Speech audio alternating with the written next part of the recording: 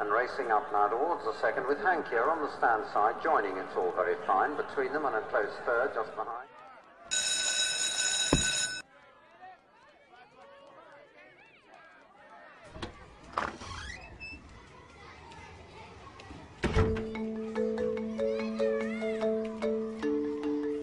Welcome to Mr. Fisher Flips third grade math.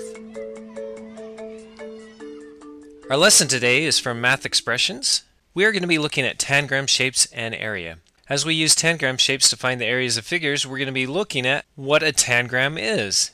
As we get started today, let's look at an anytime problem. We see that Pat wants to make a rectangular card with a perimeter of 12 inches. How many different cards can Pat make that have a different length and width. And so if you recall, I like to take the perimeter and only find one side and one length. And so what I'm going to do is I'm going to divide 12 by 2 and that equals 6. All I need to do is to find the different addends that add up to 6. So something plus something equals 6. And then we can also find 6 equals something plus something to find the other square. Now if we start out, we know that 6 plus 0 does equal 6, but 0 equals a line, and we don't want that. So 0 doesn't work. Let's try 1 plus 5, and let's add it up. 1 plus 5 equals 6, plus 1 more is 7, plus 5 more is 12. So the perimeter going all the way around is 12 inches. Let's go to the next number. We tried 1, let's try 2. 2 plus 4 equals 6. So 2 and 4, and we can add that up. 2 plus 4 is 6, plus 2 plus 4 equals 12. So if we did this again, we would actually get 3 plus 3. But let's look back at this. It says that Pat wants to make a card that has a different length and width. Can a square work in this case? No, a square cannot. So our answers are 5 and 1 and 4 and 2. So we did a good job on that. One thing I'd like you to do is practice your time. Get out an analog clock, a paper clock, or do this with a parent or a grandparent and see if you can actually tell how much time it will be until lunchtime or how much time will it take to go to the post office. You can actually practice elapsed time by practicing telling time to the nearest minute. So practice if you can. Well, today's lesson is going to concentrate on tangrams, of course. And if we look at this tangram, we're going to try and put this one together.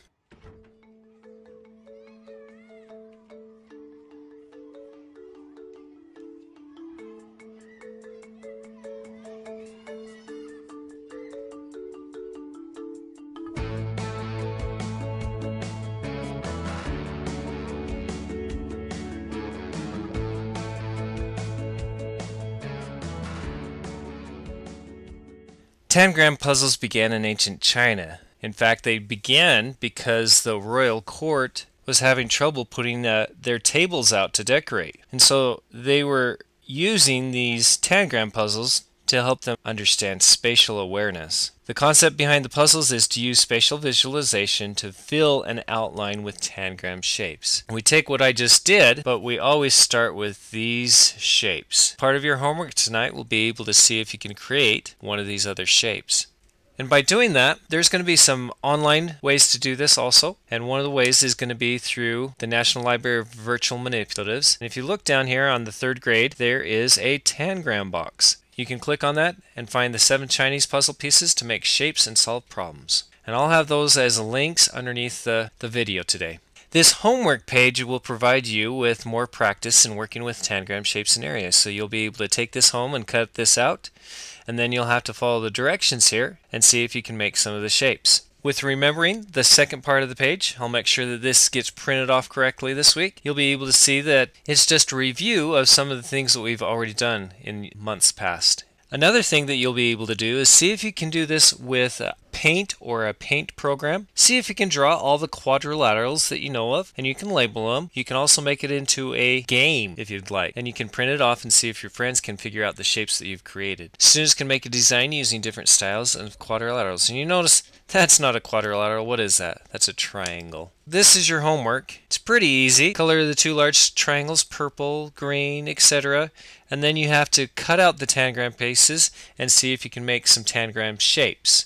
And so as you cut out the tangram pieces, you'll be able to figure out some other shapes that you can make. And it'll be really fun if you can bring some of those ideas back to class and share them with the rest of us.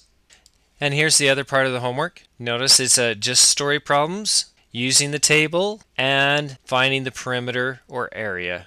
Well, one of the things I've noticed is that people have made the tangrams and they've actually put them into stop motion animation. So they took the seven piece tangram and they actually made it into a movie.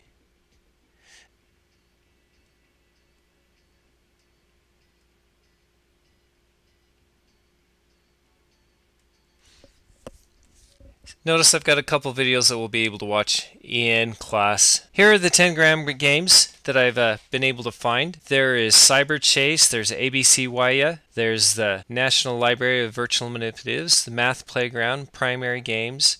So some very fun games that we'll be able to try out this week. I will list these on the website so that if you want to, you can actually go to the website and not have to type these long URL addresses out. So these Tangram games will actually help you with spatial visualization. So when and where did you watch the video? Sum up what you saw and write a question. Now, instead of writing a question, I actually want you to bring back a tangram. So instead of just bringing back a question, I want you to bring back a tangram that you don't think anybody else will have seen and see if they can figure out how to make it just like you did. So that's the one thing I'd like you to do that's different. That brings us to the end of the lesson. Remember, using tangram shapes does help us with spatial visualization. You'll be surprised how helpful that is in geometry and within our math. Thank you and good night.